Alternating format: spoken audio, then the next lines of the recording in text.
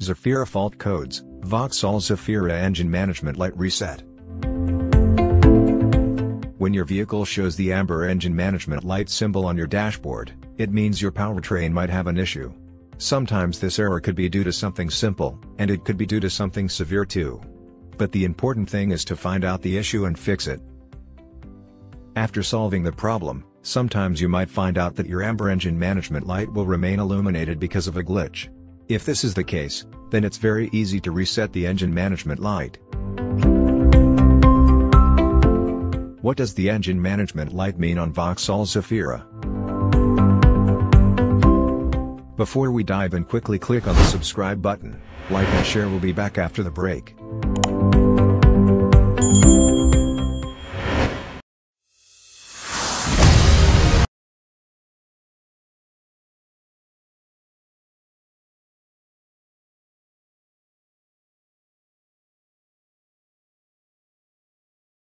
This engine management line happens to be one of the warning lights which is built into your car's dashboard. The only way to see it is whenever the ignition is turned on. The connection of this light is on your car's engine control unit, ECU. Note that this can control your fuel, air mixture, and your ignition timing for the perfect running of the engine. There are numerous causes or reasons why your car dashboard will display the engine management light. However, one common cause is a result of a clogged or blocked fuel pump, which prevents a sufficient amount of fuel to pass through from the tank to the engine. Also, a clogged injector, catalytic converter, or even a leaky vacuum hose, are what can cause the engine management light to come on when you're driving. Here are common additional causes of engine management light on. 1. A blocked fuel pump. 2. A contaminated catalytic converter.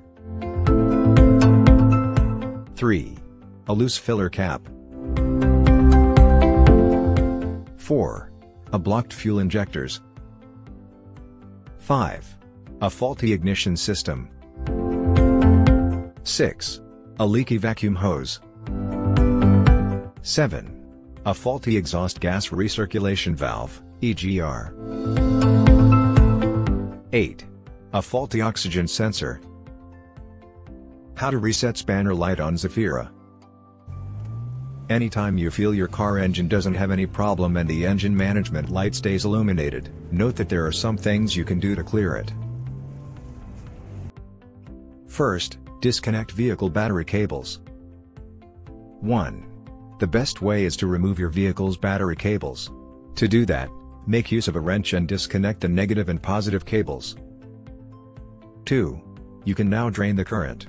Just hold your car horn for about half a minute. 3. Then wait about 15 minutes before reconnecting the battery cables again. 4. Now go check the error codes to make sure it has been deleted. Once done, the engine management light will already be off. However, if find out that the light has returned, then it means there's a problem that requires your mechanic. Reset service light on Vauxhall Zafira 2011. Before doing this, I advise you to sit in the driver's seat and make sure the handbrake is on, and the doors are closed. Please note that this process is for right-hand drive vehicles only. 1. Just press and hold the trip reset button by using your left hand. 2. Now put your key inside the ignition. 3. Then turn your key to the position 2 ignition lights on the engine not started.